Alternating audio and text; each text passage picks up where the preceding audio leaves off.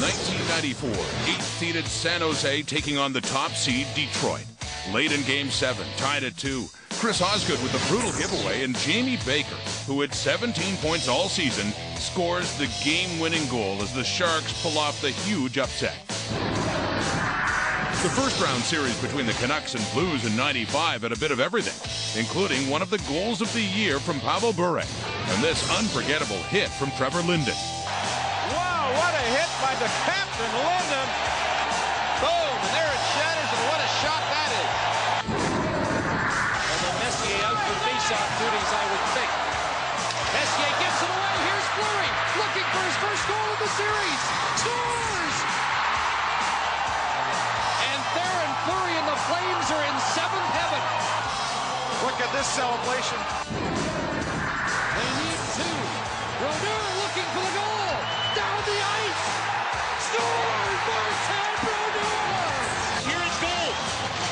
It's going, going, and it finally hits the ice on the other side of the red line and lots on it. Perfect. 1982, known as the Miracle in Manchester.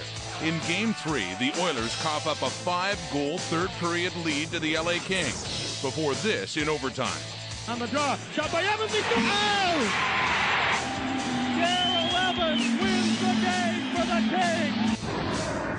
Sedin is not English for punch me or headlock me in a scrum.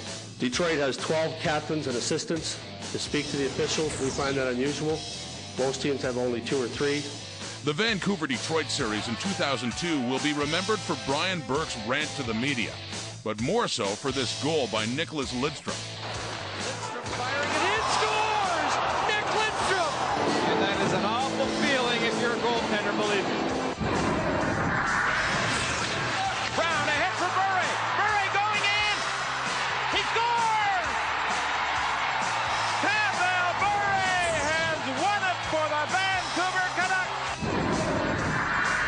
Islanders faced a 3-1 series deficit in 1987 against the Capitals.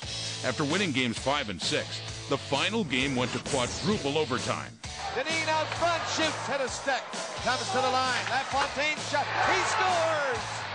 LaFontaine at the blue line, here in the fourth overtime, firing the shot and winning the series.